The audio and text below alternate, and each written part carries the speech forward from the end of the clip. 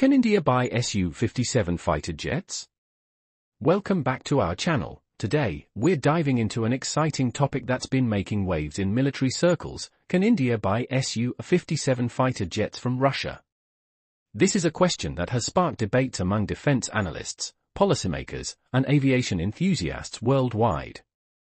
So grab your seats as we explore the possibilities, challenges, and implications of India acquiring this fifth-generation stealth fighter. Let's get started.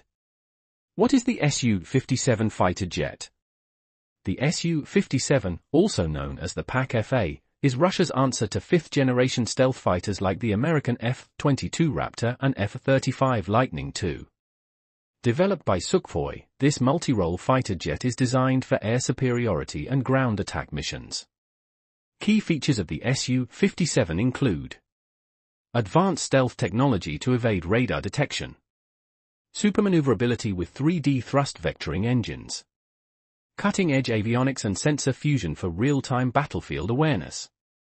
The ability to carry hypersonic weapons and advanced missiles. The Su-57 is not just a fighter jet, it's a symbol of Russia's technological prowess. But how does it compare to India's needs? Let's break it down. India's fighter jet requirements.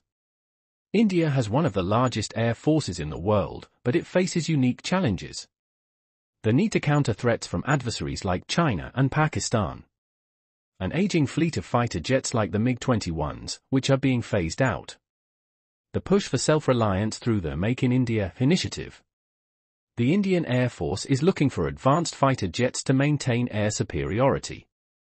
While indigenous projects like the AMCA, Advanced Medium Combat Aircraft, are underway, there's a capability gap that needs to be filled in the short term. Could the Su-57 fit into this scenario? Pros of buying the Su-57. Here are some reasons why the Su-57 could be a game changer for India. 1 cutting-edge technology, the Su-57 offers stealth capabilities, advanced sensors, and supermaneuverability, aligning with fifth-generation requirements. 2. Strategic partnership with Russia, India has a long-standing defense relationship with Russia, from the Su-30 MKI to the S-400 missile system.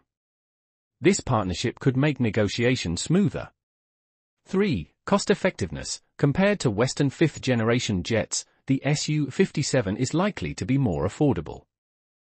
4. Operational range, with a combat radius of over 1,500 kilometers, the Su-57 can cover vast areas, making it ideal for India's diverse geography.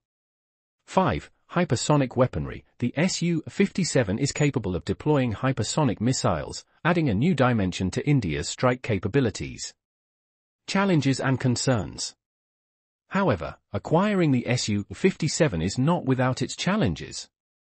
1. Technical issues. The Su-57 has faced delays and reliability concerns during its development phase. 2. Compatibility. Integrating Russian technology with India's existing systems can be complex and time-consuming. 3. Cost of maintenance. While the upfront cost may be lower, operational and maintenance costs could be high. 4. Geopolitical implications, India's growing ties with the US and the purchase of Western platforms like the Rafale could complicate relations if it opts for the Su-57. 5. Focus on indigenous development, investing in foreign jets might divert resources from domestic projects like the AMCA. The global context. India isn't the only country evaluating the Su-57. So far, Russia has struggled to find foreign buyers. Countries like Turkey and Algeria have shown interest, but no major deals have been finalized. On the other hand, competitors like the American F-35 and China's J-20 are gaining traction. The global race for fifth-generation jets is heating up, and India's decision will have a significant impact on its strategic positioning. The India-Russia connection. India and Russia share a deep defense relationship, from the BrahMos missile to the S-400 air defense system, their collaborations have been fruitful. If India decides to buy the Su-57, it could strengthen this partnership. But there's a catch. India was initially part of the FGFA, Fifth Generation Fighter Aircraft, program, a joint venture with Russia to develop a fifth-generation jet. However, India withdrew in 2018, citing concerns about the Su-57's capabilities and high costs. Could this deal be revived? Only time will tell.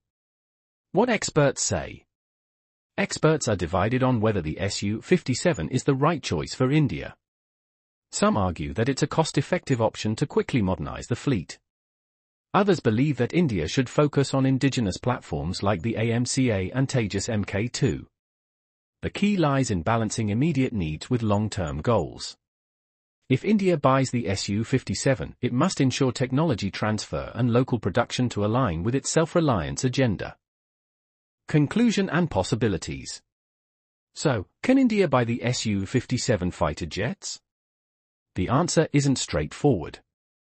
While the Su-57 offers advanced capabilities and aligns with India's requirements, it comes with its own set of challenges. The final decision will depend on factors like cost, geopolitical implications, and India's vision for its defense future. Whether it's the Su-57 or an alternative, one thing is clear, India is committed to maintaining its edge in air power. That's all for today's video. What do you think? Should India invest in the Su-57 or are there better options out there? Let us know in the comments below. Don't forget to like, share, and subscribe for more in-depth discussions on defense technology and global advancements. See you in the next video.